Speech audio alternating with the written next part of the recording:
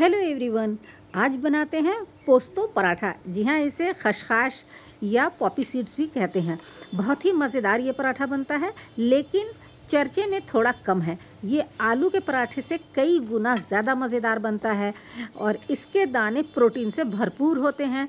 तो अगर आपको किसी, कहीं लंबी दूरी में जाना है तो अगर चार पराठे आप खा लें तो पाँच घंटे तक आपको भूख नहीं लगने वाली है। इसको बनाने के लिए हमने यहाँ पर आधा कप पॉपी सीड्स लिया है। इस दाने में कभी कभी कंकर पत्थर होता है या मट्टी होती है तो इसे धोकर अच्छी तरह से छान कर कड़क धूप में सुखाने के बाद ही इसकी, इसका पराठा बनाए। तो यहाँ पर मैंने काली मिर्च और नमक का इस्तेमाल किया है। कुछ लोग इसमें ज़ीरा भी डालते हैं।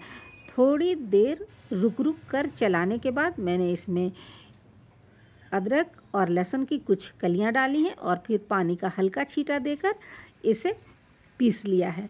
आप देख सकते हैं कि ये पीसने के बाद बिल्कुल डो की तरह से हो गया है, लेकिन इसको पीसने के लिए आपका मिक्सी पावरफुल होना चाहिए।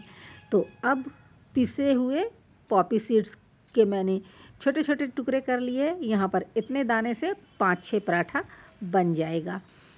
बस ये ध्यान रखना है कि ये पीसते वक्त इसमें ज़्यादा पानी ना चला जाए, वरना इसकी लोइयाँ नहीं बनेंगी।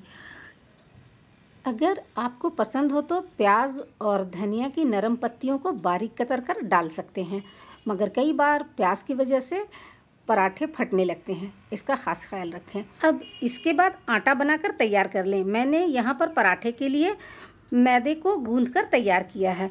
मैदे से बना हुआ पराठा ज़्यादा मज़ेदार, सफ़ेद और मुलायम होता है। आप चाहें तो रेगुलर आटे से भी इसे बना सकते हैं। मैंने मैदे की इलास्टिकसिटी को दूर करने के लिए और ज़्यादा सॉफ्ट पराठा बनाने के लिए इसे गर्म पानी से गूथा है।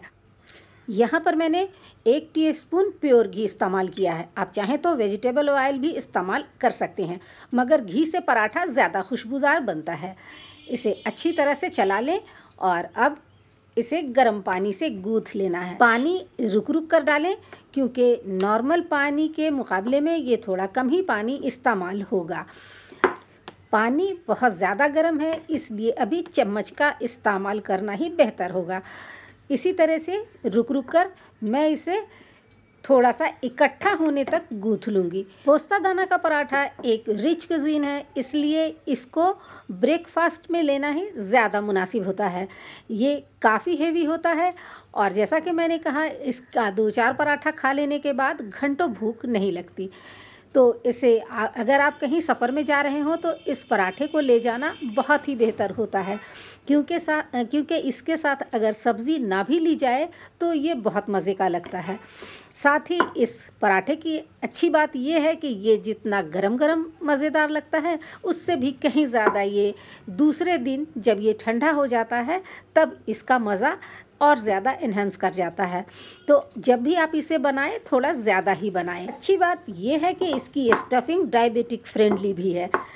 तो इधर मैंने इसे मुक्की लगाते हुए खूब अच्छी तरह से गूँथ लिया है। अब इसे 10 मिनट तक रेस्ट पर छोड़ देना होगा। अब इसके छोटे छोटे पेड़े तोड़ लेने हैं और इसकी कटोरियाँ बनाकर एक एक गोला जो हमने पहले तैयार किया था, वो इसमें भर लेना है। और ये बहुत अच्छे से इसका लोई बन जाता है और इसे भरने में कोई दिक्कत नहीं होती।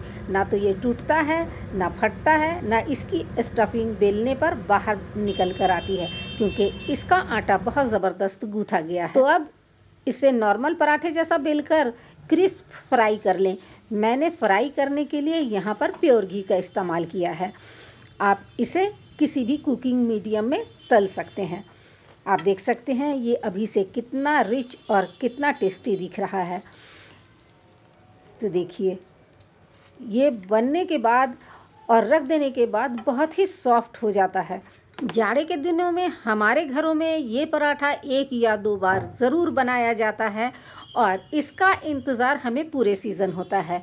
तो आप भी इसे बनाएँ और जब भी आप पोस्ता दाना पीसें इस्तेमाल से ज़्यादा पीसें पीसें, क्योंकि थोड़ी क्वांटिटी मिक्सी पॉट में पीसने में दिक्कत आएगी।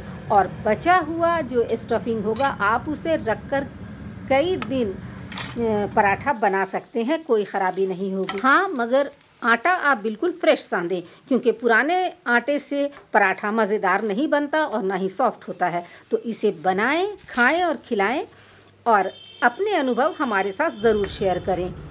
तो जिन लोगों ने हमारे चैनल को पहली बार विज़िट किया है, वो हमें सब्सक्राइब करना ना भूलें। उम्मीद है आज की रेसिपी को आपने इंजॉय किया होगा। Thank you have a nice day bye